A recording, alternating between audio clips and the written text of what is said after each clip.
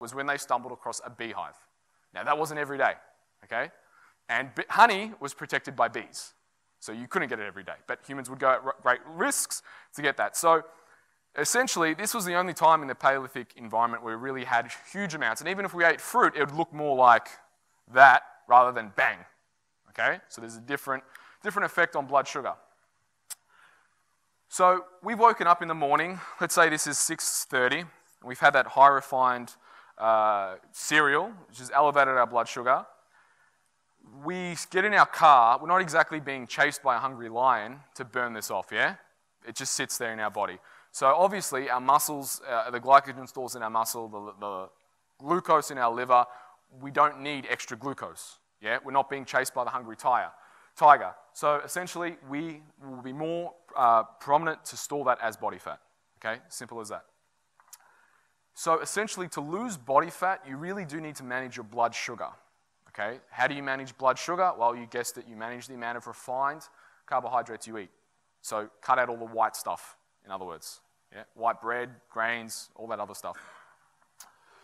Uh, okay, I haven't covered all these points. So a really easy way to do it, and I guess a, a quote-unquote meal plan, is with each meal, you want to pick a protein. Now, how do I define protein? Protein, I think quality protein. And by the way, I'm, I'm some people get uh, misinterpret when I talk about things like this. I'm not an advocate of you know, factory farming or anything like that. I'm also not, definitely not a vegan, but I do encourage you all to go out and source the meat as high quality as you can afford. Okay, so if you can afford the organic meats and the better cuts like uh, you know kangaroo meat and all these other things, because kangaroo is obviously game. Game is fantastic for you. If you can afford free-range eggs, if you can afford free-range chicken, I absolutely encourage you to go do that. Okay, but essentially, you want to pick a protein, a quality protein source. Okay? A quality protein source is not a protein shake. It's not a food product. It is an, uh, essentially something that was hunted or fished. You all got it? The other caveat is I'll make is on um, fish. So if you are going to get fish, one thing I would strongly recommend that you all do is buy fish from Australia.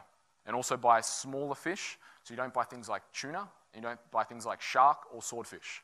The reason why, does anyone know the reason why I make those recommendations? Do you want to yell it out? Mercury, exactly right. Mercury is the reason. So, um, to avoid a heavy metal toxicity issue, uh, I mean, it won't kill you if you have it, say, once a week or twice a week, but if you're having it every single day, which is what a lot of young guys do, I see it a lot of times because it's cheap, it's easy. Um, they eat a whole lot of tuna to get bigger. Well, you also, and I, I can tell you firsthand, I've had my, you know, mercury tested and all that. Back in the day, I was every single day tuna, tuna, tuna, tuna. My mercury, I've done a few detoxes. It's lower than what it was, but it's still there. Yeah. So uh, to avoid going through a whole detoxification phase later in life, you know, don't eat as much tuna and don't eat as much shark. Especially things like whale, which the Japanese love. Uh, you know, definitely don't eat any whale any ever. You know, you, you, don't need to eat that. It's also bad for the environment. Um, pick a green. Pretty basic. So you've got your protein, you've got your green. So let's just say, you know, uh, one thing that I recommend uh, to make it easy on you guys to eat more vegetables is frozen greens. Okay, you can just go to your Coles, Safeway, wherever your supermarket is, and buy a whole bunch of frozen green vegetables. Don't make for one meal, yeah? Because if you make for one meal, you're going to be constantly making meals if you want to eat more and, and put on some lean mass. So essentially, get all your frozen veggies, put it in a big pot, put some hot water in it, you know, boil them up and keep them in the fridge. Okay? And the best Tupperware that you can get isn't actually Tupperware. It's things like uh, ceramic pots or glass, if you can get glass, that type of thing, so you avoid the, the plasticity um, crossover when you're boiling things. Because obviously, if you've got hot vegetables and you put it in a plastic container, the plastic can leach onto the vegetables, yeah? So to avoid any, again, toxicity issues like BPA, BPA is uh, bisphenol A, is a compound that's found in all pla- or most plastics, um, that can transfer over to the food. You want to avoid that because it's actually an estrogen uh, by nature. It's a, a, a, what you call a xenoestrogen or an estrogen mimicking compound. So you don't want to lower your testosterone, guys. Yeah, you want to keep that high. So you pick a green. Then, you, then it's about managing your carbs and fats. So a lot of people, uh, you know, saturated fat, for example, has a lot of bad rap. You know, everyone, you talk about saturated fat, oh, you want to avoid fat, you know, you don't have any fat. That's not entirely true. If you can get um, really high quality fats like uh, avocado, coconut oil, organic butter, that's one thing that's very important to buy organic, a high quality olive oil, these things are very, very nourishing.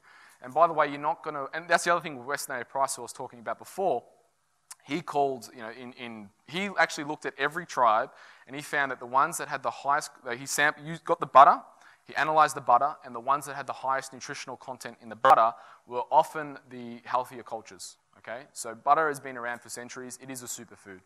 Don't be scared of butter. You know, cooking with it. I'm not saying you know get teaspoons and shove it in your mouth. Yeah, but you can cook with butter.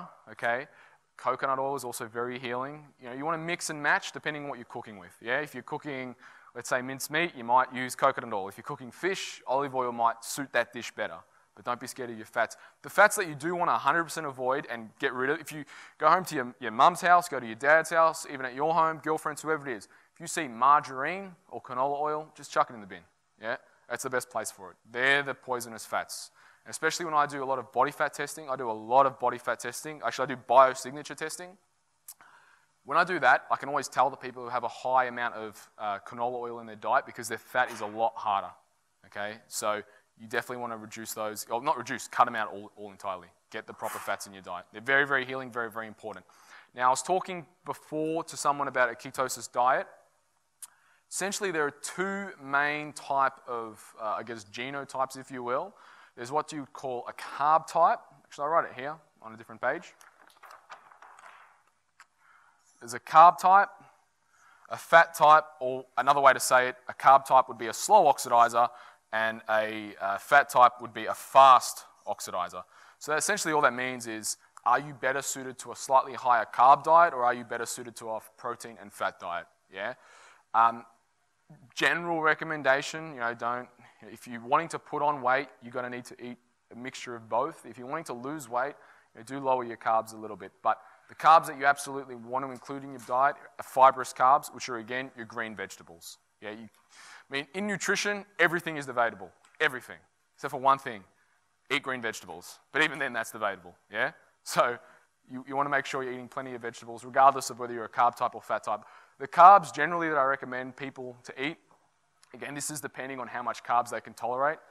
Um, if someone was wanting to lose weight, pretty much for the first two weeks, I would suggest they stick to sweet potato and pumpkin until they're happy with how much body fat they've actually lost. Yeah? So lots of protein, lots of vegetables, sweet potato, pumpkin. As they get leaner, they might use things like rice, quinoa, and be a little bit more fancy with their carbs. Fats, again, very basic. The ones that, again, hunted fish gathered and plucked. If ever in doubt, just remember hunted fish gathered and plucked. Uh, I always, just one thing that I do with my the guys who I get ready for shows and that type of thing, as someone gets leaner, let's say they're you know, 6% body fat, I increase their carbs. I want to know how much carbs they can get away with. So again, it's not about dropping all carbs entirely. If you're wanting to put on weight, you know, if you don't think you're big enough yet, obviously, you know, have your rice, sweet potato, pumpkin, plenty of protein. You know, again, but even for the guys who want to put on weight, that's not a license to eat shit. Yeah, because sugar eventually will make you insulin resistant, which is a bad thing. You want to be insulin sensitive. Uh, and portions, which is often a question I get. I used to give, you know, this is what you should do. And for some people who I don't want to think, so if people who you know, have paid me, I need to get a result in 12 weeks, let's say it's a competitor, I'll give that. But for you guys, eat enough. You know, if you're hungry, eat. Don't be anal and, and measure your food and all that type of thing. Eat enough protein so you're not hungry, or you can go two to three hours, or even four hours, without having a, uh, you know, to binge on something or being so hungry that you need something to eat. Yeah. Just to check in with everyone so far, are there any questions before I move on? If you want to get a mic. Yep.